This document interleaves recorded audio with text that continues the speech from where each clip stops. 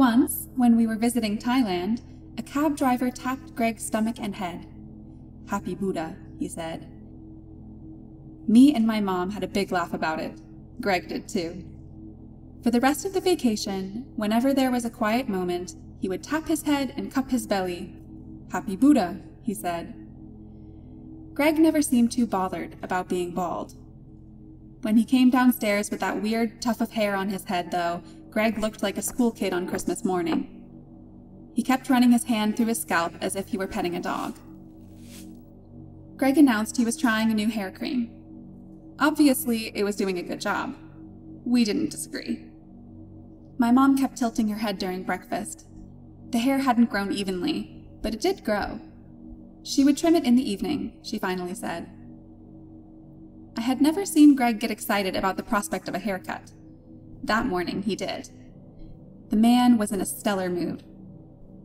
That was until I asked him where he got his new cream from. The dark web, he said, sheepishly. I started to lecture the idiot about how he should never order anything off the dark web. But Mom told me not to take that tone with him. With as much sweetness as I could muster, I told Greg the internet is littered with tales of terrible purchases. He had no idea where the cream came from. It could easily be poisonous. He ran his hand through that weird tuft of hair. Again. Greg said he was feeling great. Before she left for work, Mom took a closer look at his scalp. Everything seemed in order. If the cream wasn't irritating to the skin, there probably wasn't any harm in using it. She works at the hospital, but her diagnosis didn't convince me. In the afternoon, when Mom was at work and Greg was watching TV, I snuck upstairs and took a closer look at the hair product. It wasn't difficult to find. The cream sat prominently in the middle of the bathroom mirror, as if it were a trophy. Happy hair, the jar read. There was a picture of a stock image handsome man next to the labeling. Nothing else. No information about contents, or who made it, or even a barcode. Clearly, Happy Hair was a product of the murky waters of the deep internet. The cream itself was pink and smooth and smelled faintly of vanilla. I didn't want to get any of it on my fingers, so I closed the lid back shut. The labeling of the jar barely held together. Beneath the photoshopped man, there was something else. Different packaging. I started to work away at the label with my nails, yet I didn't get far. Greg was standing in the doorway.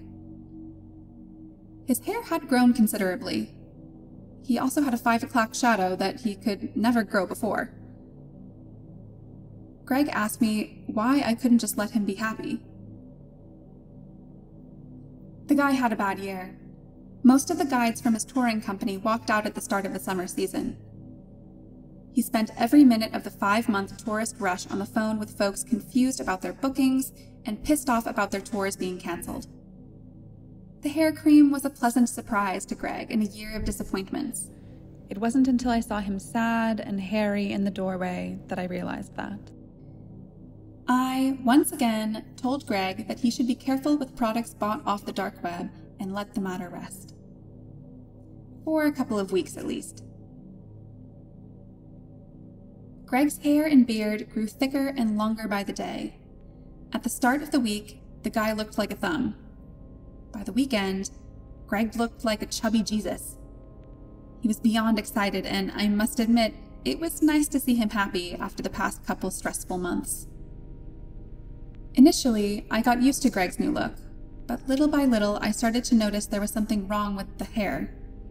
Though it looked healthy and lush, there was a strange sort of shimmer to it. When I looked at his beard in the right light, it seemed to be gently moving. I had stopped lecturing Greg about how he shouldn't buy things off the dark web, but the new developments with his hair gave me pause. Greg, as predicted, would hear none of my concerns about his beard moving on its own.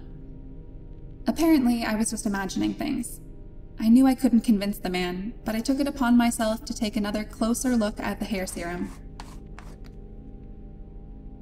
When I first checked the jar, the cream was pink and solid and smelled sweet. When I checked it again the first time, the color had faded only slightly. There was a trace of yellow in the jar now. The product also turned ever so slightly watery, and some other smell was lingering in its notes. I worked away at the packaging with my nails once more. This time, as if the makers of the cream had started to slack off, the label came off right away. Beneath the generically handsome stock image man, the true nature of the happy hair revealed itself. Thick black letters that read GH058. I did a quick Google of the code name, but nothing showed up. That didn't make me any calmer. I took a second sniff at the hair cream, trying to place the smell, trying to figure out what had changed over the past two weeks. Beneath the faint smell of vanilla, there were even gentler notes of scent, unpleasant smells, the odor of rot and death. Before I could fully place the stench that lingered on the back of Greg's hair cream, I was interrupted once more.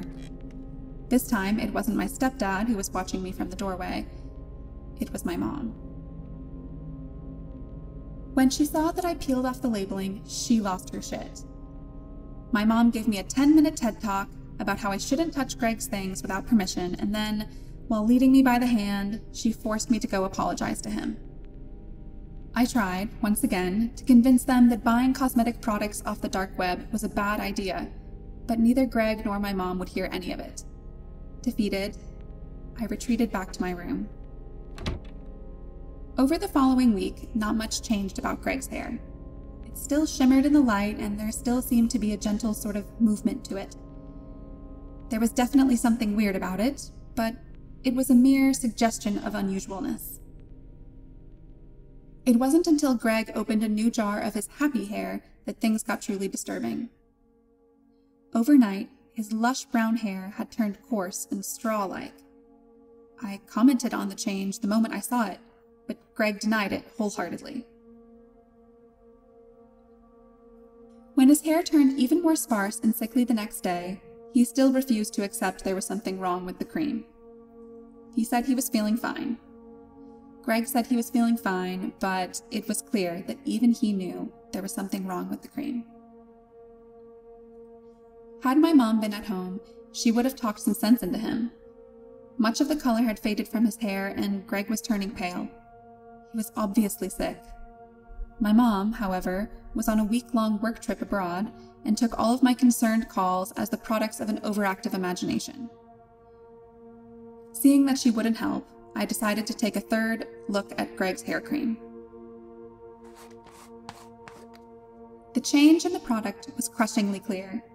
The cream had lost much of its texture and color. It was now a watery yellowish pink sludge. It wasn't the look of the cream that truly worried me, however. It was the smell. The faint notes of vanilla were completely gone. Even without putting my nose to the cream, I could smell the undeniable, rancid stench of infection. I tried making my arguments to Greg once more, but he'd hear none of it. His beard and hair had turned white and writhed within his skin. There's bags under his eyes, and he's clearly running a fever, but the guy keeps insisting he feels right as rain. My mom won't be back for another four days, and I fear it'll be too late then.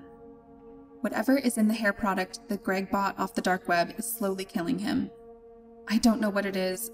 I don't know what to do. I just wish my stepdad would be bald again.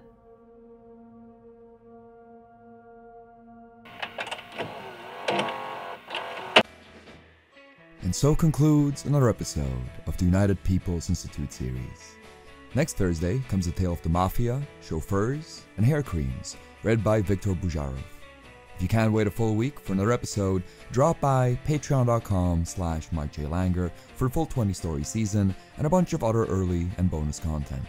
Also, if you haven't heard the first season of the United People's Institute series, there's a big old jumbo video of it down in the pinned comment for binge consumption.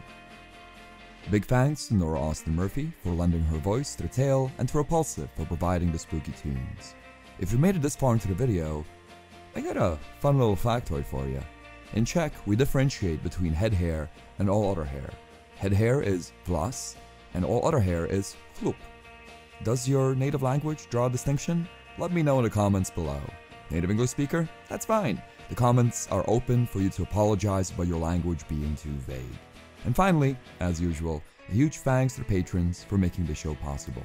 Big old thanks to Bob Konderk, Dante Kincaid, Matt, Joyce, Mr. Creepypasta, Kus, Christopher Barunda, Dying Sun, Charlie Cooper, Paul, Paul Evans, Quiet Pills, Shion, and Larry V. If you want to join these illustrious scientific minds, drop by patreon.com slash Langer. That's it for me this week. Hope everyone is safe, sane, and healthy out there.